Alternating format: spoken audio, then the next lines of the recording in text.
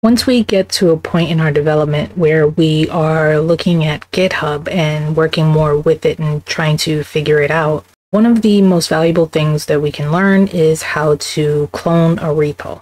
I've gotten a lot of questions about this project specifically, this Friendzy demo. I think that the issue might really lie with the fact that it is two projects in one. We have Laravel in the back end and then we have Nuxt in the front end. So we're going to take a quick walkthrough on how to clone this project. Now, this project is perfect for demonstrating how to either clone on Laravel project or how to clone something with Node or any other project that requires NPM or even Yarn or anything like that. So this would work for any of those situations. What you would want to do is first click this code button and you have several options. So you can either use HTTPS, SSH, GitHub CLI, and this is how you would clone it. You can also open with GitHub Desktop if you have that set up, and you can also download the zip and zip the files directly to your computer. But this video is for cloning.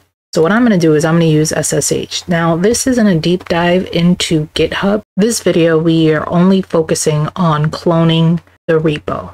So what I'm going to do is I'm going to go ahead and use this SSH. And if you do not have that set up, there are tons of videos on YouTube on how to set that up. So I would definitely check those out. We're going to click copy and then we are going to go to, I'm going to be using git bash. And so the command I would run in here is git clone and then paste in that whole entire thing, press enter and let it run.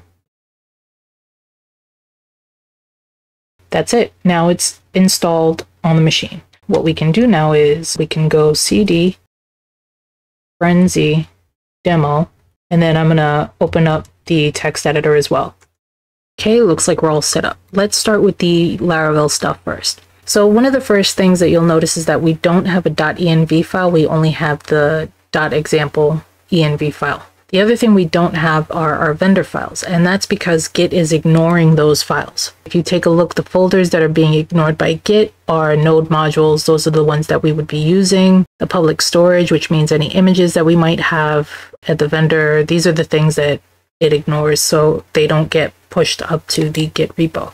Let's start off by taking a look at this .env example. And as you can see, I've made sure that you guys have the SPA URL. I've made sure that you have the sanctum stateful domains, the session domain, and I think that was pretty much all that I needed to make sure you guys had. So one important thing that we need is an app key. And the other thing is we also need our database and our credentials for that setup. Before we do anything, let's copy this one. And then we're going to paste it into the API folder. And then we're going to rename it .env. So now that we have that set up, let's go ahead and put in our database credentials. I've already set mine up. So it's friendzy demo. The username is root and the password is blank. Now, the other thing we also need is our app key. Before we do any of that, let's make sure to open up our terminal. I'm going to bring this up a little bit. And if you take a look, we are not in the API folder in here. So we need to CD into that. Now that we're here, let's go ahead and run composer install.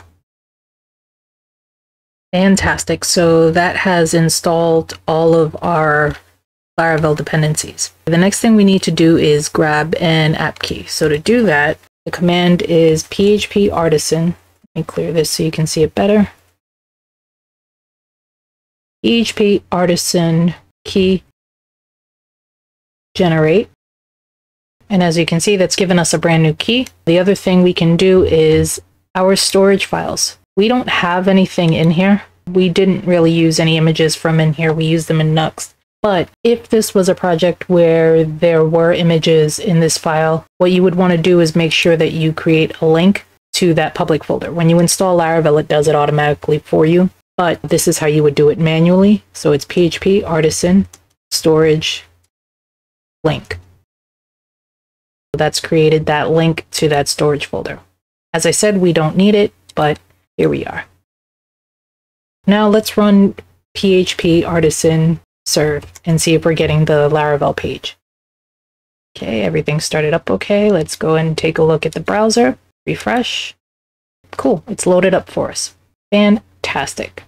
YouTube has opened up my community tab, which means now I can access all of the good things about the community tab. So one of the things I posted here was when we reach a thousand subscribers, we're getting pretty close. I'll do a Q&A celebrating you guys and you can either submit it here, you can submit it on any of the videos. Just let me know that you want to have it for the Q&A and I'll try to get to them. And also uh, you can reach me on Twitter and send me a tweet and I will go ahead and see about putting that in that video.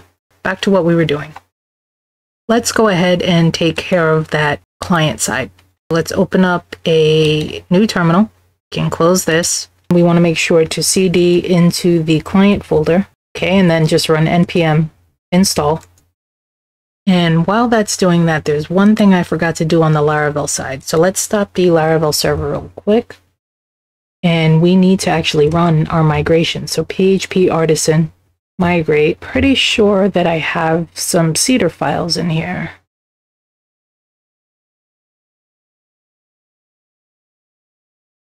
Yep, we are seeding the user factory. We're going to do PHP artisan migrate seed. Great, now that that's done, let's go ahead and run our server again. And then we can go back to the npm and that looks like it's done. And now we can run npm run dev. What this npm install did was it installed the node modules into this client folder so that we would have access to our all of our node modules. Okay, everything that makes Nuxt run. That looks like we have a successful build. So let's head back to the browser. Now we'll go to localhost 3000. And here's our app. Let's go ahead and register a new user. Okay, and we're redirected to the dashboard. We have our dashboard page. We have our user, friends, users, dashboard. Don't think we have any friends set up, so let's go ahead and check the users. Okay, and click. There's our user right there. We'll go ahead and add friend. So looks like it's up and working. We can go ahead and log out. Fantastic. We're redirected back to the landing page and it is fully functional. I'm going to go ahead, leave it there for now. Thanks for watching and I'll see you guys next time.